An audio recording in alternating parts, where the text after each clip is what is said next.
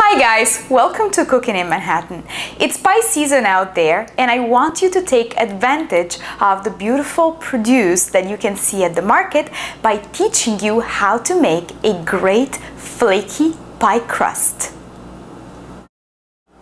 Let's take a look at the ingredients for the flakiest pie crust. I have one cup of all-purpose flour, and one cup of whole wheat flour. You can do two cups of either, but I really like mixing the two together because it creates a great texture. 12 tablespoons of sweet butter. This is about one and a half sticks of sweet butter. Then we have one teaspoon of baking powder and one teaspoon of kosher salt. And finally, half a cup of ice water.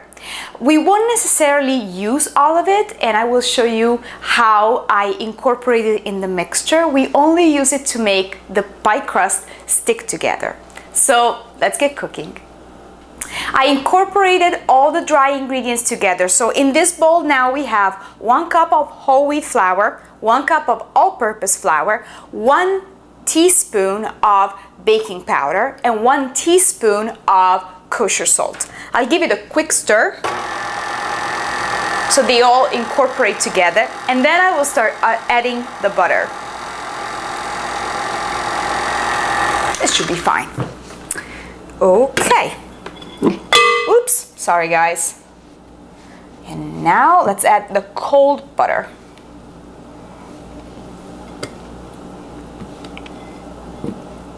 Here we go.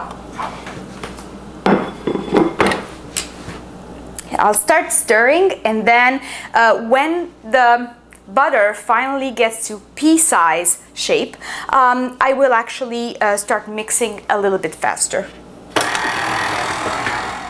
We have stirred the cold butter into the dry ingredients and now it's pea size. So we are ready to add a little bit at a time the ice cold water so that the pie crust will come together.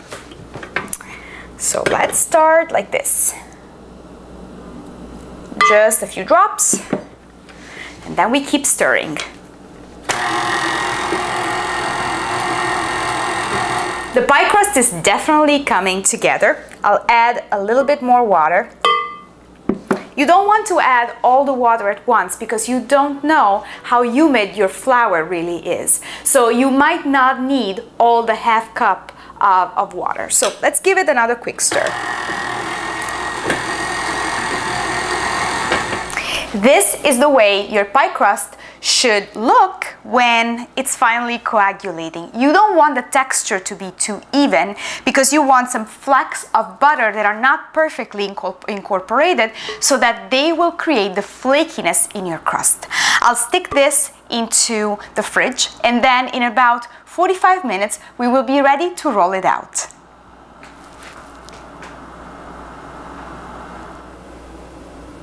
The pie crust is now cold. I sprinkled on my uh, flat surface a little bit of all-purpose flour. I'm going to just knead this a little bit more, like this, so that the cold surface of the uh, of the pie crust actually warms up a little bit and then with my rolling pin I'm going to start rolling.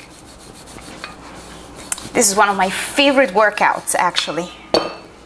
You don't want to put too much flour, uh, otherwise you actually might um, might make it a little bit, might make the pie crust a little bit uh, too thick, which is something that you don't want.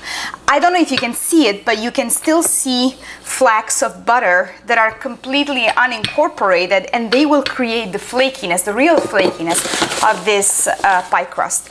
Of course, you can also make it uh, by hand if you have a little bit more time, but I like the concept of making it in a, uh, with a little bit of machine power so that I don't have to uh, waste too much time with it. This should yield about two discs uh, that are nine inch wide. Um, I really like to blind make bake my uh, my pie crust before I put the filling in so I know it's perfectly crispy uh, but you might want to try uh, also to put the filling already in and then stick it in the oven It's a very easy pie crust and I hope you enjoy making it. Um, and I hope you will make it for your summer pies. I will see you again on the next Cooking in Manhattan. Ciao! Here is the way our pie crust looks in a pie dish. I'll bake this, I'll blind bake this and then I will make it into a blueberry pie.